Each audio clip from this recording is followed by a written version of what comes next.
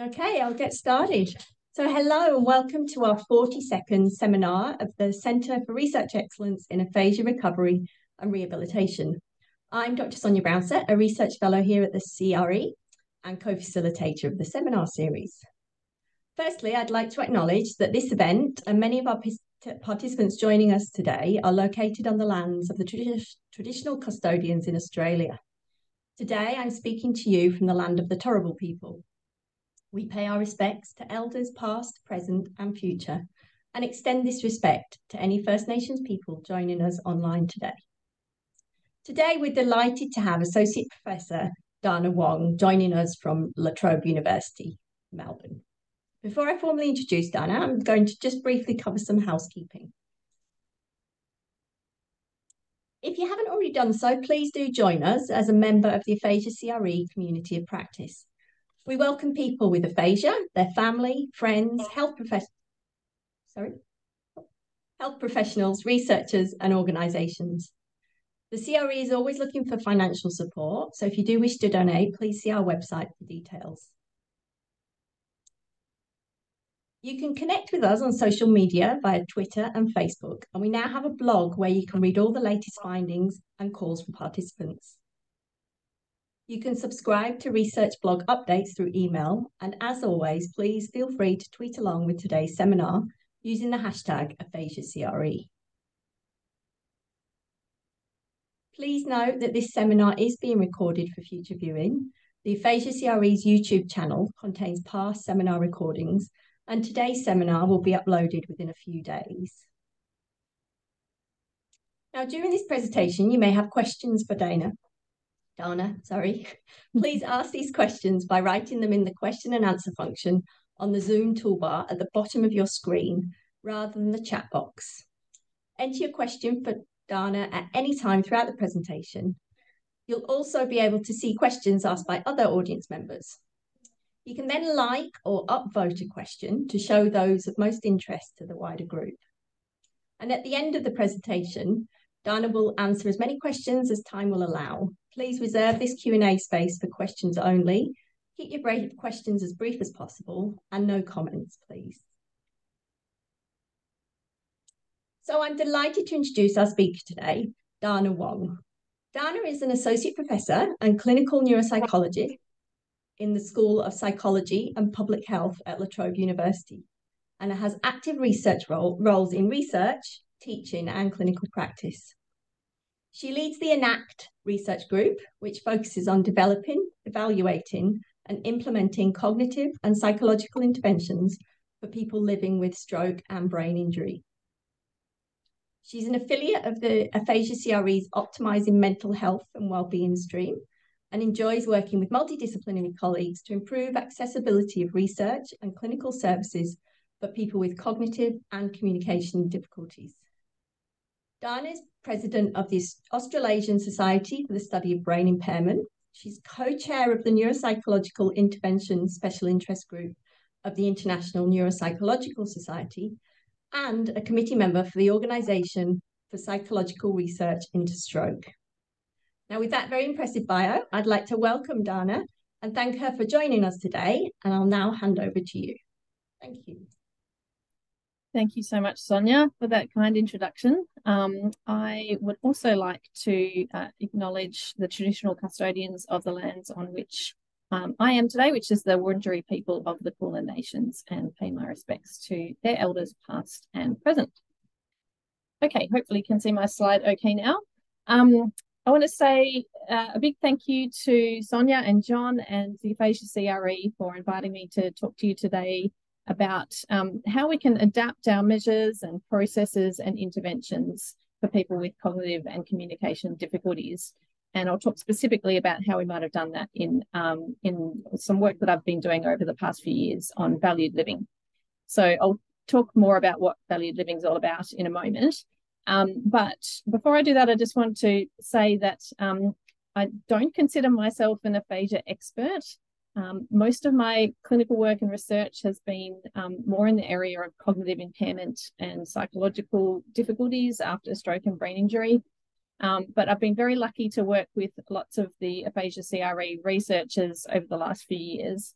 And in those projects and collaborations, um, I've really noticed that there's uh, a lot of overlap um, in terms of the barriers that people with aphasia face and the people that um, cognitive impairment face in terms of how they connect with other people and and the world and how they manage the demands that the world they face in the world. So um, I hope that some of those synergies um, uh, I'm able to illustrate over the course of the presentation. Okay, so valued living um, is also called value consistent action. This is the extent to which an individual engages in actions um, consistent with their personal values. So, um, for example, uh, one of my values is um, for the work that I do to have an impact that helps others. So, um, by giving this presentation today, that's a, an action that's consistent with that value. Um, we know that higher valued living is associated with better well-being um, and that lower valued living is associated with uh, higher psychological distress and depressed mood. Um, and those associations are observed across both neurotypical and clinical cohorts. So this, this idea of doing what matters to us, doing what's important, is a really fundamental construct for how we go about life. Uh, so we looked at the relationship of valued living with outcomes after traumatic brain injury um, in this study that was um, done as part of Celia Pais's uh, doctoral research uh, a few years ago. And what we found in this study was that um, people who uh, had had a traumatic brain injury within the last five years um, showed uh, significantly reduced valued living, um, and that that those reductions were associated with um, uh, functional and psychosocial outcomes. So we saw this pattern over time where, so we asked people to sort of estimate their levels of valued living pre-injury, and you can see that um, in the first year, this dropped quite significantly. So um, in that first year, people with traumatic brain injury did not feel that they were doing as many things in line with their personal values. That stayed low um, for the next one to three years. And then at three to five years, it increased again. Um, and this was an interesting pattern that didn't seem to be related to the fact that everyone had gone back to work at that stage, but rather seem to reflect um, an adjustment to their lives post brain injury and the fact that they found new ways of, of um, living in accordance with their personal values at that time. So, as, as a sort of related um, study, we also looked at uh, how associated, um, how valued living was associated with post traumatic growth or positive growth following brain injury. And um, we also looked at, at how, um, how positive growth was manifested in terms of um, behaviors. And you can see on the right here that uh, there were a number of things that reflect uh, values about relationships with family and friends, um, appreciation of small things in life like nature and kindness and simple pleasures, pets and dogs, um, acting with consideration and kindness for others, and taking up new interests and activities. And uh, so this kind of reflects some of those um, perhaps new ways of, of um, living in accordance with values um, uh, post brain injury when things like paid work may be um, the, the capacity to engage in those may have changed. We also wanted to then look how did these how did these findings apply to a broader acquired brain injury sample um, that includes stroke, for example, as well as traumatic brain injury? We did a follow-up study um, in partnership with Alfred Health to look at this. Um, what we wanted to do was replicate that past study in traumatic brain injury and investigate whether valued living might differ among different types of acquired brain injury and um, look at, uh, again, how valued living changed over time post injury. And um, importantly, to explore relationships between valued living and then psychological and occupational outcomes like work and volunteer work and study as well. Um, so in this study, we had um, a mixed ABI sample that um, was mainly comprised of stroke survivors what we found was that there wasn't really any difference between um, stroke and TBI uh, groups in terms of their valued living scores. And um, as we found in the in the first study, valued living was indeed associated with better psychological outcomes, um, and that uh, that valued living was higher for those who were engaged in at least one type of productive activity. And it didn't seem to matter whether um, that was paid employment or not um, paid employment. So um, the, the benefits of valued living um, were just as strong for um, engagement in things like volunteer work and study. So um, this study, I guess, highlighted that changes in valued living after injury are unlikely to be diagnosis specific, um, and that you know many people with ABI would benefit from support to engage in valued living over several years post injury. This seems to be an important um, aspect of um, adjusting to life post injury. Um, and importantly, doesn't that doesn't mean just engaging in paid work. There's other activities um, that are just as important for fostering a sense of value and purpose. Um, and so, you know, supporting individuals to engage in those activities that are personally meaningful can really foster that sense of living a life of value and, and meaning. So, with all that as background to, I guess, highlight the importance of, of valued living as a construct and a target for intervention, um, one of the important issues in this field is how we measure valued living. Um, so um, I'm going to spend a bit of time on this because it's it's um, it is an important aspect of trying to identify who might um, struggle with valued living or value consistent action and who might need support, and then also in terms of measuring the outcomes of our interventions. So uh, the most commonly used measure of valued living, and, and probably the first that was developed, it's called the Valued Living Questionnaire. Um, and what you do in this questionnaire, um, it has sort of two parts. In the first part, you rate the personal importance of each of 10 areas of your life. So you can see here there's family relations, marriage or um, intimate relationships, parenting, friendships, employment, education, training, recreation, spirituality, citizenship or community life, and physical well-being. So in this first part, you rate how important each of those life domains are to you on a scale of one to 10. So one being not at all important and 10 being extremely important. Um, and then in the second part, what you do is rate how consistent your actions have been with each of your values in the past week.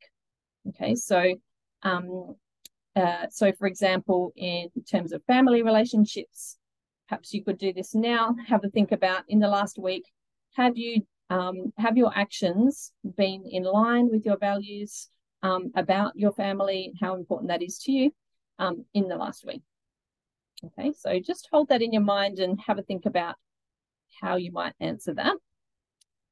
Um, now I'm going to step back a bit to talk a little bit about um, the uh, the processes that are involved in answering questions on a questionnaire like that valued living questionnaire.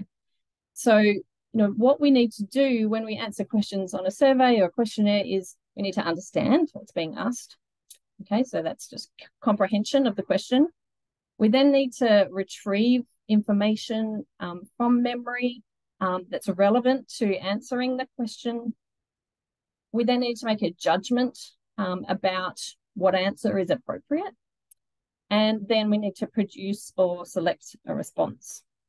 Okay, so um, um, so for example, um, let's say I asked each of you to write down your answer to this question, which I'll invite you to do. So you can just write it down to yourself. You don't need to share your answer to anyone. Um, so on a scale of one, not at all anxious, to 10, extremely anxious, how anxious have you felt about work or study in the past fortnight. Okay, so just have a think about that and write down your answer.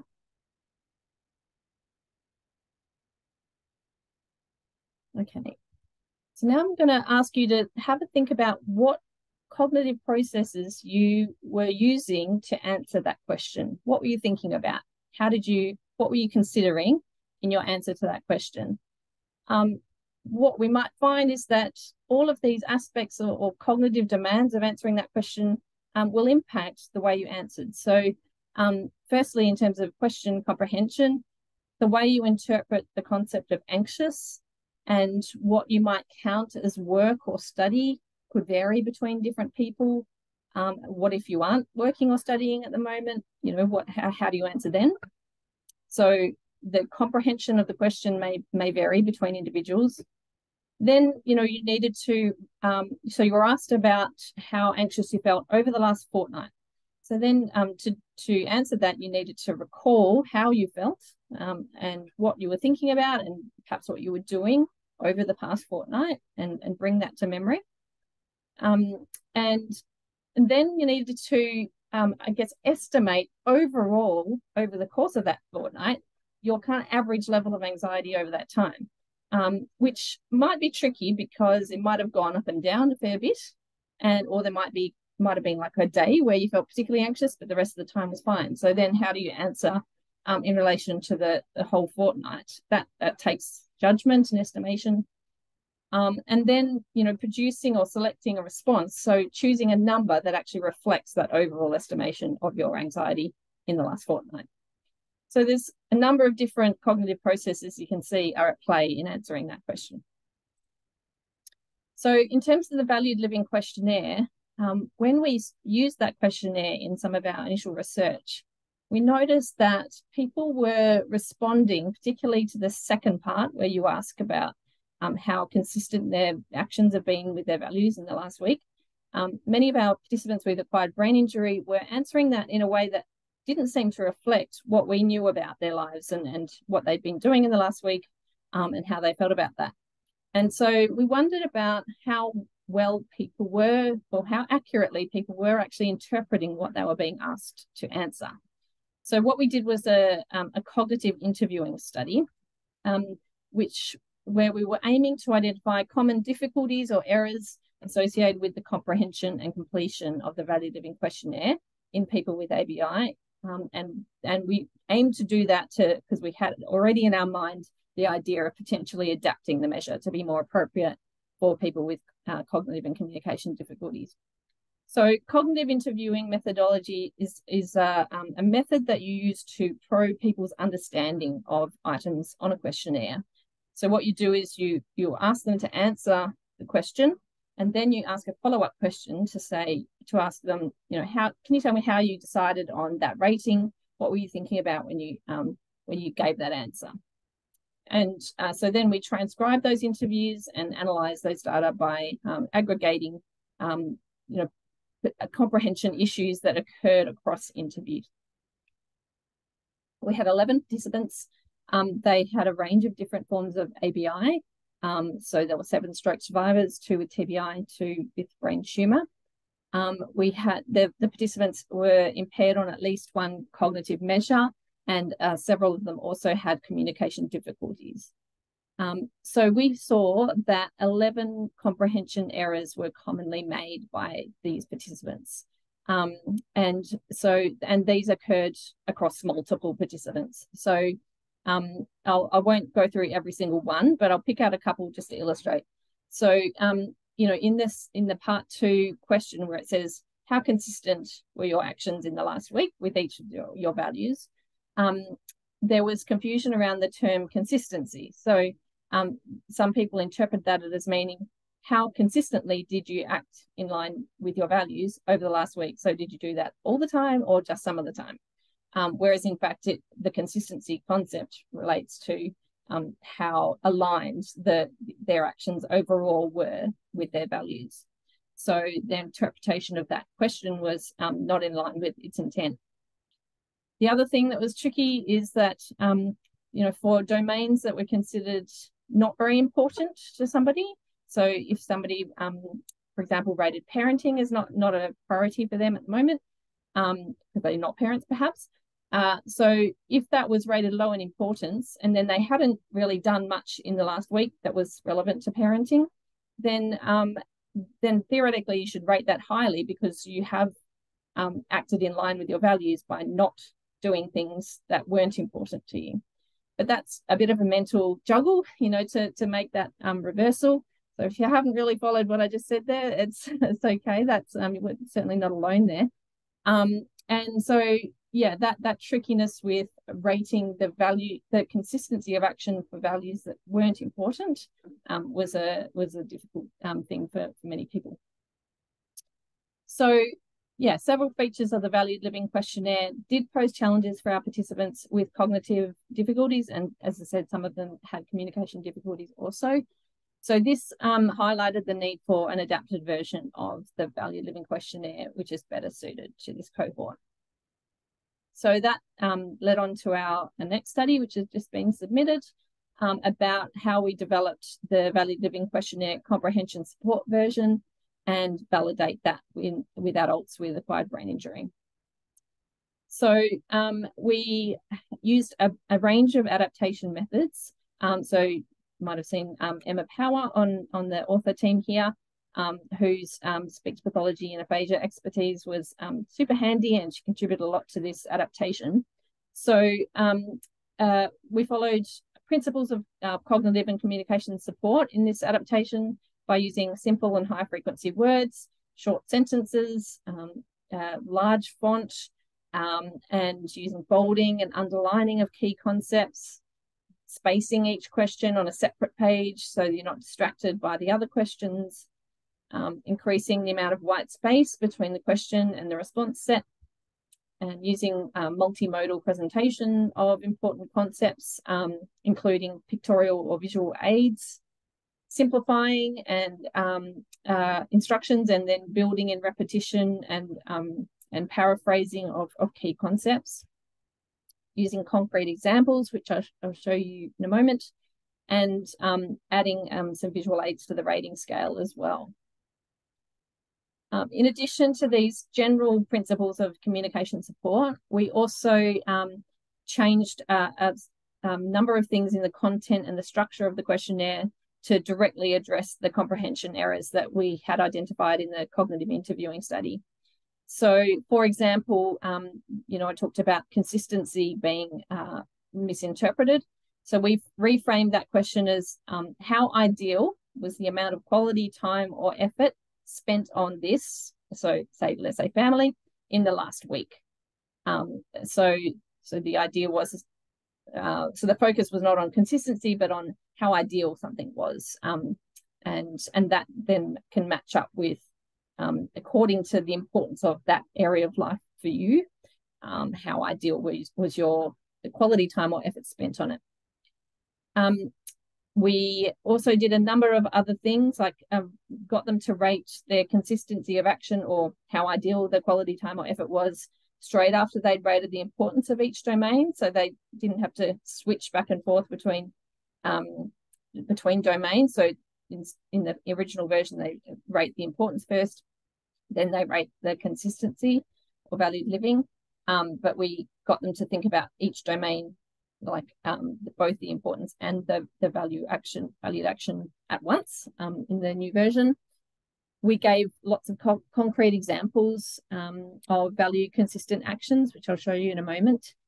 Um, to deal with that issue of uh, how how you rate um, areas that aren't important, um, we we um, stopped asking for ratings of um, valued living for any life domains that were rated less than five for importance, because you know at the end of the day, we were most interested in um, how much time or effort was being devoted to the areas that actually were important to each individual.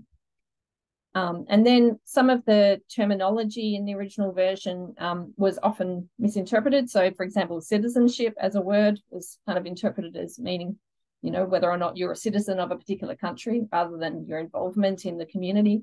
So, we renamed those domains that were commonly misinterpreted. So this is what um, the instructions look like.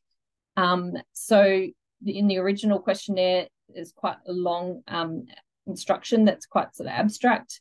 So we just simplified it right down. We're going to ask you about different areas of your life. Let's get started with family. Um, and then a bit a more detailed option for people with milder communication difficulties. Um, and in the administration instructions, we also gave a lot of um, prompts for administrators to um, guide them about what sorts of communication support methods they might like to use if there were issues with comprehending the, the questions. Um, so this is um, uh, what the, the adapted version looks like. So um, for example, in the family domain, this is this first bit is on one page. How important is family to you at the moment? There's a picture um, to support comprehension of that idea. And then um, uh, they have to circle on this scale, which includes visual aids um, about how important that is. Um, and then for the, the second question, which is about valued living, um, you know, in the last week, how much quality time or effort have you spent on family? Is it an ideal amount or not ideal? And you can see here we've added some um, concrete examples of what those actions might look like for somebody who did value family. So that might be showing affection to your family members, spending time with family, doing things to help family. Um, and the in the administration instructions, um, we also tell administrators that they can expand on those examples and make um, and include others that might they know are more relevant to that person as well. So to individualize um, those examples as much as possible. And so then you can see on this rating scale, they're rating how ideal um, their actions were um, according to how important that domain is. So yeah, I guess in contrast to the original version where there's um, just a list of, of life areas without much added explanation, um, it's quite a different look uh, for the, the um, new version. So this is the importance rating and then the consistency rating or ideal valued living um, rating. So um, after we'd done all those changes, we wanted to check, is this a valid measure? Um, and so uh, we, we uh, looked at both its test retest reliability um, and, uh, and its convergent and divergent validity. So how well it aligned with similar measures and didn't align with dissimilar measures.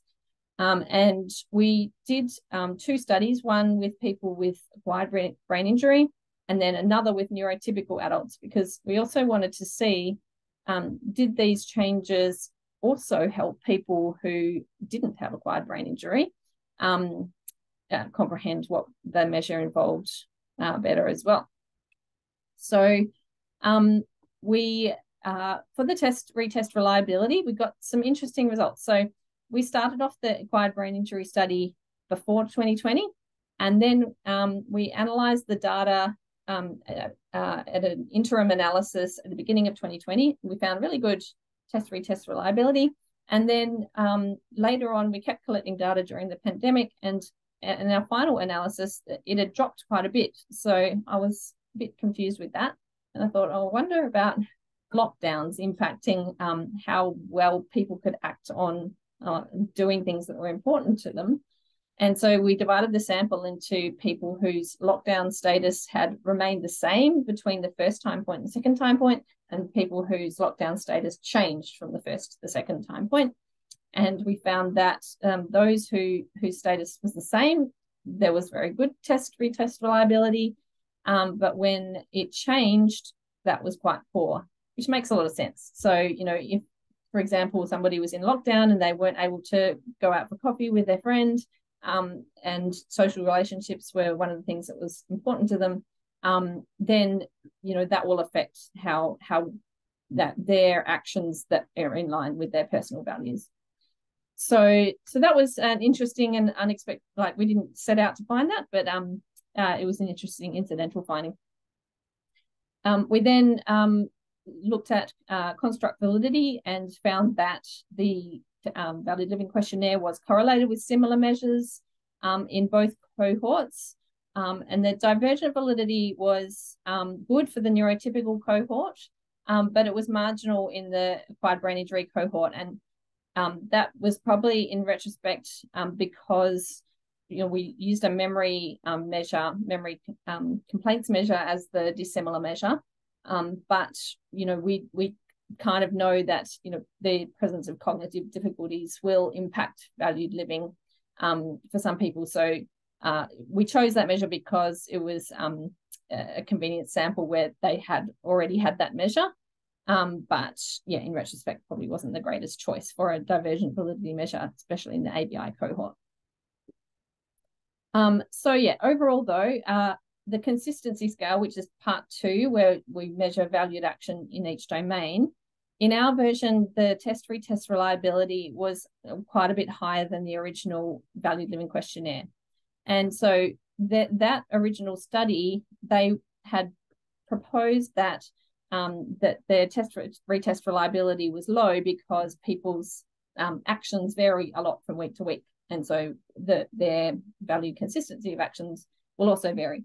Um, but you know, we, in finding that the test retest reliability was higher for especially when lockdown status was the same, um, perhaps it might be that the adapted version was more reliable because also um, it reduced the likelihood of comprehension errors on um, on item responses. So it's possible that value consistent actions actually aren't, in fact, as variable from week to week as originally thought. Um, so look, this speaks really to the importance of ensuring that questionnaires are valid and um, understood as intended, even for people without cognitive or communication difficulties. And so I'm quite glad that we also looked at neurotypical um, uh, participants because, you know, this really speaks to the importance of using measures, um, well, the use of measures that are accessible and appropriate for people with cognitive and communication difficulties can actually benefit everybody yeah, so that's basically what I said there. So, um, and you know, it's just a measure at the end of the day. But what we hope is that um, this measure can be a meaningful way of um, measuring valued living for clinicians and researchers um, to detect when um, valued living is an issue that might um, where they might need some support, um, and to measure the outcomes of interventions as well. Um, and actually, some health services have started using it to also guide goal setting as well, to, so that in areas where perhaps valued living is low, um, you can set goals that will improve participation in those valued activities. So um, I'll now talk briefly about um, a related study that we did after that um, validation study, where we wanted to, we were also interested in seeing what uh, how the values that were identified as important um, in our acquired brain injury sample compared to a, a, neurotypical comparison group, and also how the value living questionnaire responses lined up with another measure of values.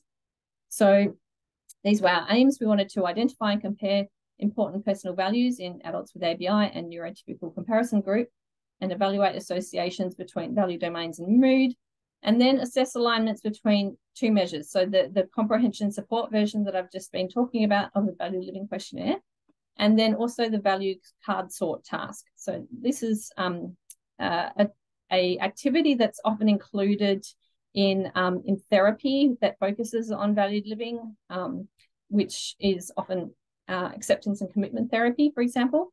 Um, and so we developed this value card sort task for use in a um, inter intervention that I'm going to talk about in a moment. Um, and we purposely designed these value cards to be as accessible as possible. So describing values in a sort of active, dynamic way where the link to action could, could be um, generated fairly easily. Um, and as you can see, there's um, pictures on each uh, card as well to try and support understanding. and what they need to do is uh, um, sort each value into one of three piles that you can see there. Very important, important, or not important to me. And then we get them to choose the top five most important values from the very important to me pile. Um, and the value cards form um, fall into these categories, the same as the, the value living questionnaire. So we had um, 43 participants with acquired brain injury um, and 50 neurotypical participants in this study and um, they were pretty well matched in age. Um, there was slightly higher proportion of males in the ABI group. Um, and again, the majority of our participants were stroke survivors. So um, what we did is we looked at the domains of the value living questionnaire that were rated highest in importance in both groups. And um, they were the same, actually. So people with acquired brain injury and people who were neurotypical rated the same things as being important. So this was family, marriage and relationships, parenting, and health and well-being. We also interested to see what um, value card sort cards were selected as most important. And these were actually all from these same four domains. So that suggested a good alignment between um, the things that were being identified as important on, on each, each, each measure. So interestingly, the top five value cards most commonly selected by people with acquired brain injury, you can see here below, four of them, again, about relationships with other people. So, um, uh, you know, and interestingly, the, the one uh, top five value card that was different to the neurotypical group was to be independent. Um, and for the neurotypical group, that was to help others.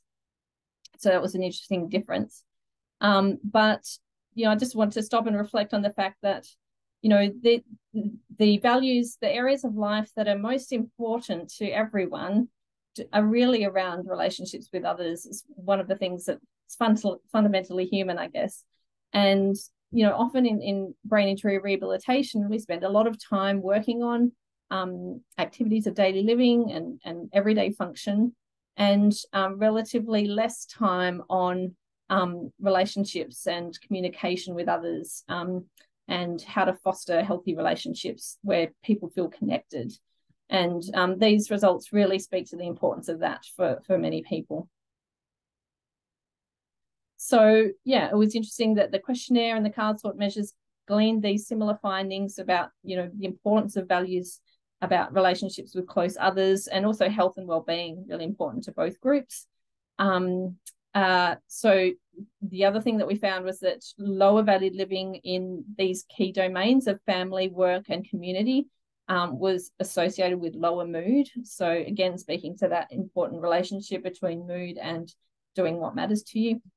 Um, and so this really supports the idea that interventions that facilitate the development of new value consistent actions in these areas with family, with friends, with work, um, or, or um, so that includes volunteer work study.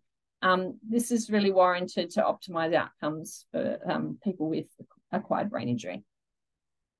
So so the final study I'm going to talk about is um, uh, our Valued Living After Neurological Trauma or Valiant trial. This is a group program um, that we developed to uh, address or improve valued living. Um, and it combines acceptance and commitment therapy, which is an evidence-based psychological therapy, and also cognitive rehabilitation for people with acquired brain injury. So this um, the trial was conducted um, by Nick Sathananthan, who's a doctoral student um, who's just writing up his thesis. So a Valiant is, um, yeah, like I said, an eight-week group intervention for adult survivors of ABI. And um, it's for anyone who's experienced cognitive or emotional changes that have impacted their participation in valued activities.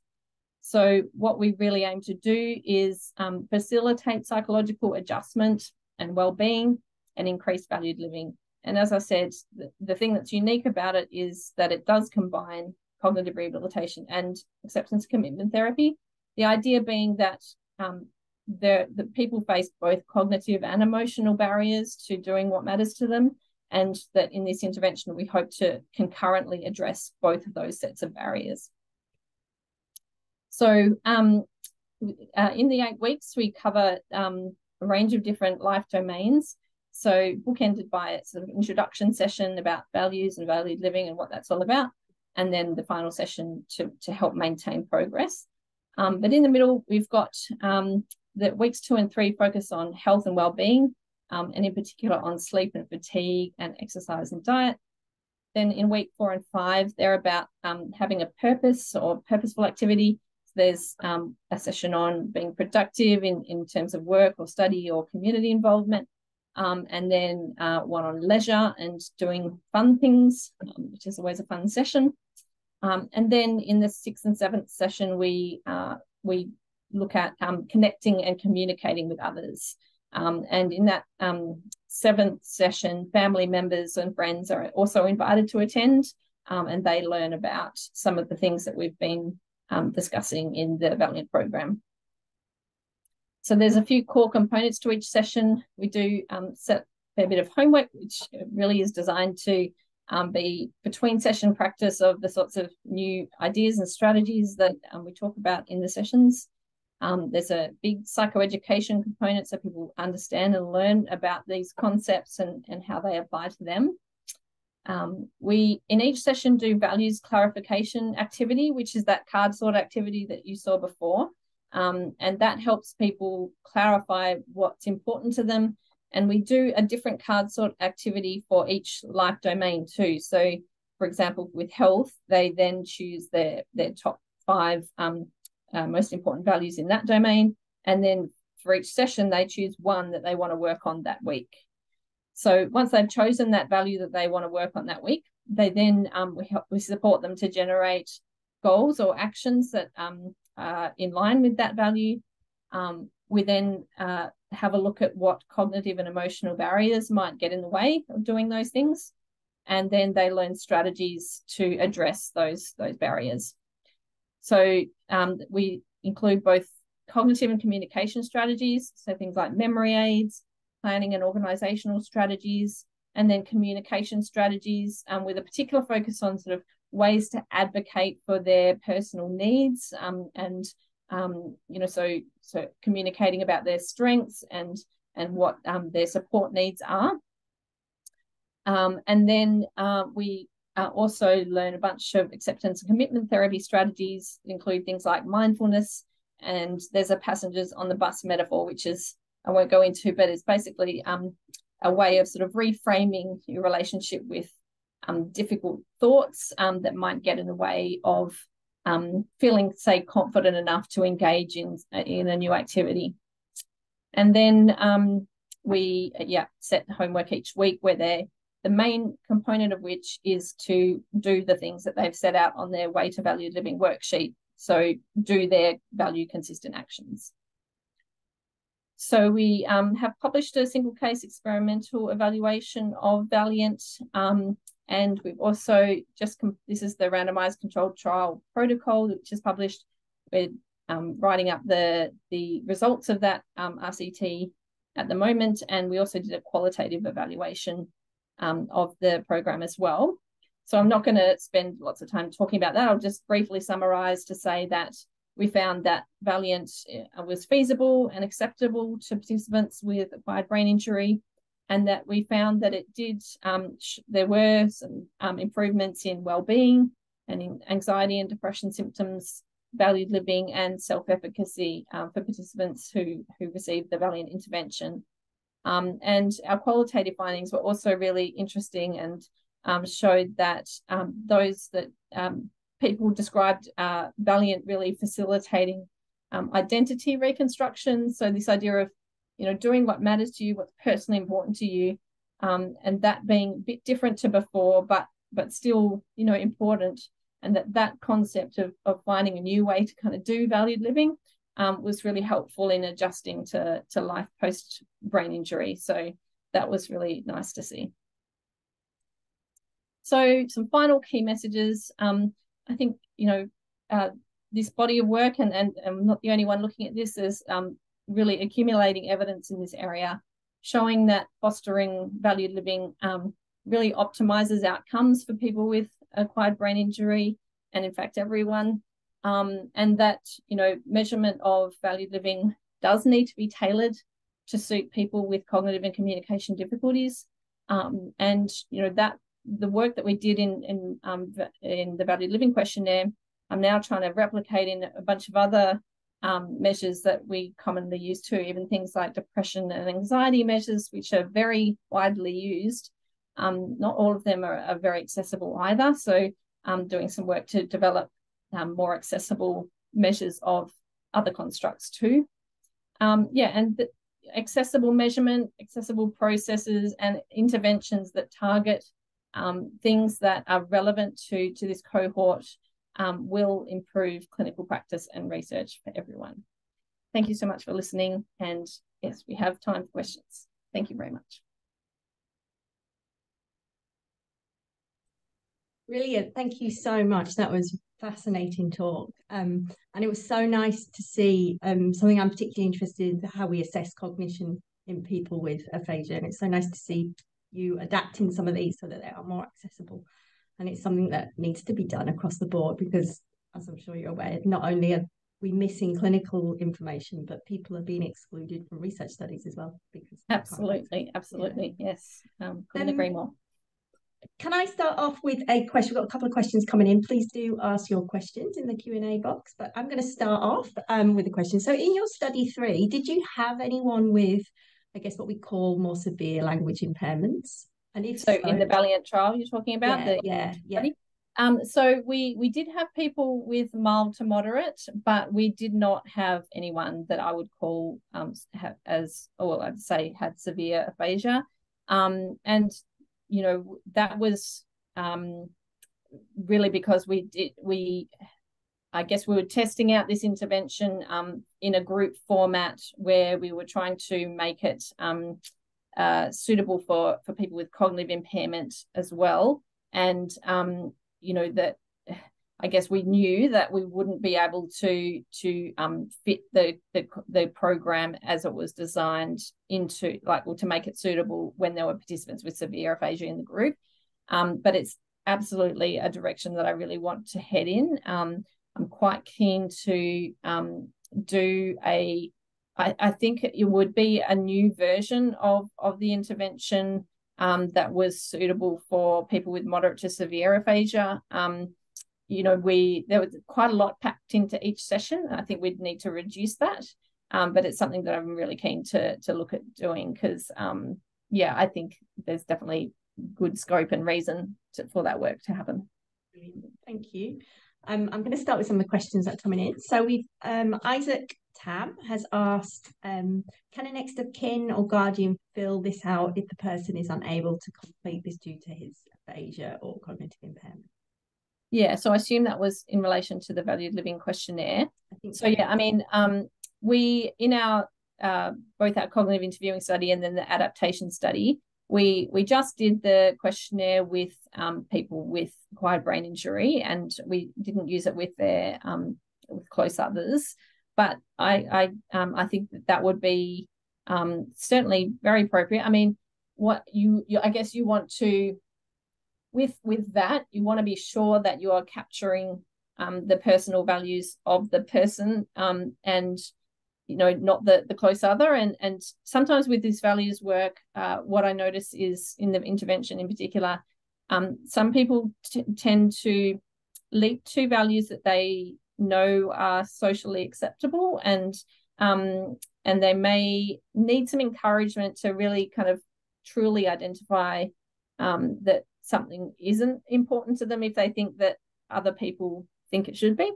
Um, so you know i guess that that's one I guess, potential issue to look out for if you have a close other um, helping somebody fill out a, a, questionnaire about personal values and their importance, is that you really want to be sure that they're um, uh, expressing, you know, their, their genuine, you know, um, personal values and you're tapping into that um, and, and not the kind of social desirability response.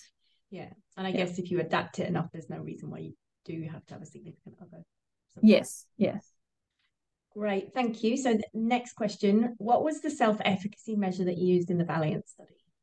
Yeah, so it was actually um and uh it was a originally a traumatic brain injury self-efficacy scale, which we then adapted to be more broadly about brain injury. Um, and I quite like it. It's um it's actually not as um widely used or validated as um, as it could be. I think um, it's got a lot of potential. It's, it's, what I like about it is that it focuses on um, how uh, confident the person is to manage various aspects of life with a, a brain injury and um, the extent to which things like cognitive dysfunction or mood might get in the way of um, that of that kind of sense of I can do this, I can manage. Um, so yeah, um, it's a, the reference is Huckins et al. If you want to look it up. Um, yeah, and I'm also happy to share it uh, if you email me. Um, but yeah, I quite like it as a as a self efficacy measure. Thank you. Um, more questions coming through. Uh, thank you so much. Were the participants with stroke or left hemisphere with aphasia, or were they mixed right and left hemisphere? Mixed right and left, yeah. And um, so yeah, I guess the the studies that I presented were all um, a um, mixed ABI sample, except for the very first one where I was talking about the relationship between valued living and outcomes. So all of the other studies I've talked about today did have a mixed sample. So um, while stroke survivors were the um, uh, you know majority of the sample in for several of the studies, there also was quite a number of people with traumatic brain injury. So um, there was often a mix of people with more left hemisphere um, uh, kind of communication difficulties, and then some cognitive communication difficulties as well. So um, yeah, that both kind of right and left hemisphere presentations were certainly represented in the samples across all of those studies. Be interesting to see if there is a, a divide in how people respond depending on kind of the, the etiology they're Absolutely, absolutely, yeah, and um, you know, I guess with uh, measuring valued living and sort of um, uh, evalu- self-evaluating whether what you're doing is in line with your values, that there's a fair bit of kind of abstract reasoning that goes into that and and sort of insight and awareness. And so people with those more right hemisphere cognitive communication difficulties um, sometimes can um, struggle with that um, awareness of of yeah how how what they are doing lines up with their values um, yeah. it is it's it's a complex um, thing to try and estimate and judge yeah I love how it's overlapping so much with neuroscience as well, what, what we know about lesion location. Mm. Um, Jan Cameron is asking, how did you seek participants for your studies and what length of time from their ABI event?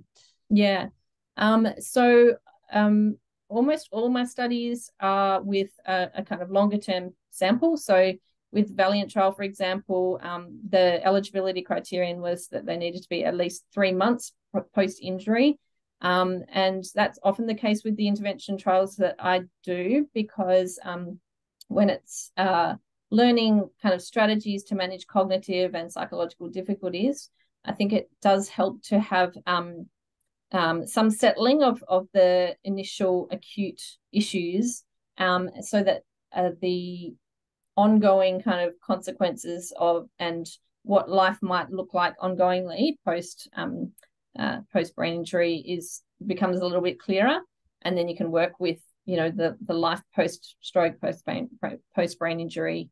Um, but you know the the there was no upper limit on how long after acquired brain injury um, the our participants could be. So we did certainly have some participants who were 15, 20 years post brain injury. And um, really interestingly, they often reported that they learnt a bunch of new things and found that really useful. So you know, I'm a strong believer that it's never too late and um, that we, you know, we should continue to offer supports for people um, as they live um, long lives with with potentially with um, acquired brain injury. So um, really encouraging to see, uh, you know, we're currently in the middle of our analyses looking at predictors of outcome um, with the Valiant trial and time post injury is one of the predictors we're looking at.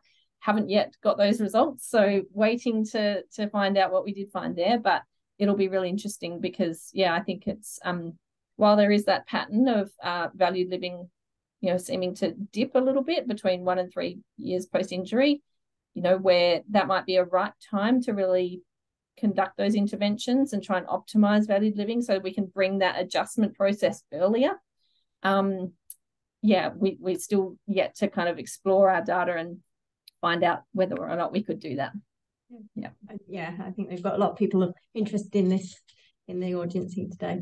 Um, another question kind of we kind of talked about it a little bit but i guess more um, straight to the point. What are your reflect this is from ellen bernstein ellis. So what are your reflections about having mixed etiologies in your valiant mm. um, therapy study and were there benefits or drawbacks mm. yeah it's a great question and one that i think about quite a lot because uh, a lot of my research is with mixed ABI sample. And one of the reasons for that well, there's a few reasons. A key one, though, is that our um, brain injury rehabilitation services are generally not diagnosis specific. So, um, all of the ones that I'm aware of, I mean, you, you have obviously acute stroke services, for example, but when you get into particularly community rehabilitation, um, it's it's much more likely that that the service or the clinician or the private practice or whatever it is is going to be working with people with mixed etiologies. And so um, I'm very keen on doing research that um, is easily implementable into clinical practice. And so the, the leap from um, from a group that has a mixed etiology to practicing delivering a group in practice with a mixed etiology is um, a closer leap, then um, it's it's less likely you're going to get a um, be able to recruit enough people for for a group um, that is a single etiology, and and that's the other reason that I often do that is you just open up your recruitment and can particularly for group interventions you need a certain minimum number for each group. So um so yeah, really the benefits I think are are multiple in that yeah it's easily at, um, uh, implementable and, and more reflects clinical practice, but also you know people with um, different forms of acquired brain injury share so many different of the of the same issues.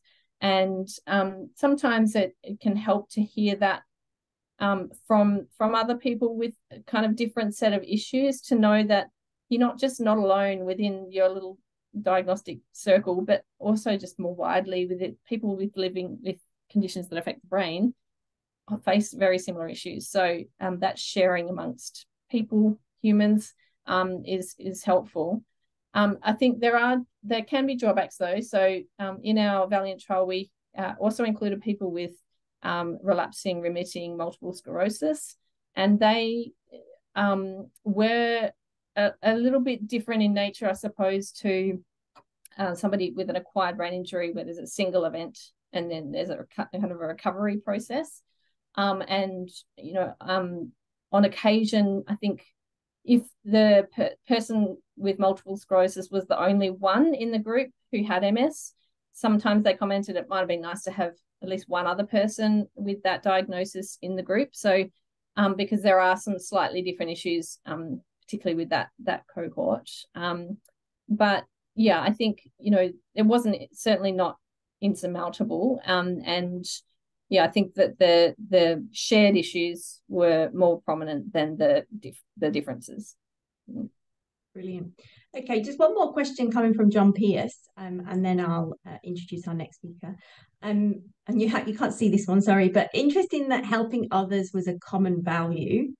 Are there any studies on targeting altruism as a goal in intervention? yeah, that's a that's a really good question. I I am not sure.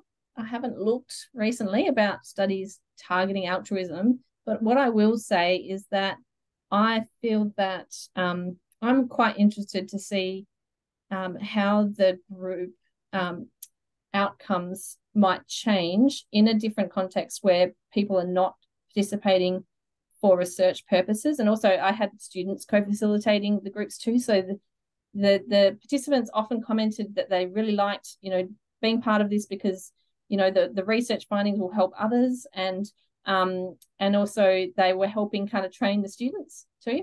Um, the students often really grateful and and overted that. And so um, I feel like you know some of the benefits of participating in Valiant were the fact that they they had values around helping others and they were able to do that through through participating because it was adding to our research knowledge and um, and also helping train students so um, those kind of uh, they were forms of valued living, I suppose. So I think um, you know targeting that that and and I think you see this with people who um, contribute as lived experience experts to research as well, um, and you know and and just generally people who participate in research. There there is an altruistic component to that um, that you know means that that is a valuable experience for them. It means that the their experience of something that's you know negative has negative impacts can be used for somebody else's good um, and you know i think that that's a really powerful thing of of um, aspect of doing research that um, i think probably has been understudied and could be um, better um, expounded and, and researched so yeah um, i think there's lots of scope there brilliant well, thank you very much. That was incredible talk and uh, very uplifting in many ways, I think. Um, so I'm just going to introduce our next speaker for the CRE seminar, and that's going to be Dr. Jasvinder Sekhon, who's going to be presenting on enabling speech pathologists to feel confident and competent in counselling for support. I didn't and... get that. Sorry, Siri's trying to chime in. Oh, She's got something to say about that. sorry. Um, sorry, I'll say that again. So, enabling speech pathologists to feel confident and competent in counselling for supporting psychological well-being in people affected by post-stroke aphasia. So this seminar, seminar will take place on Wednesday, the 27th of September. Do follow us on Twitter and via our community of practice for details of how to register for the seminar. Thank you for attending and thank you very much again, Dana, for your wonderful talk. Thanks so much for having me.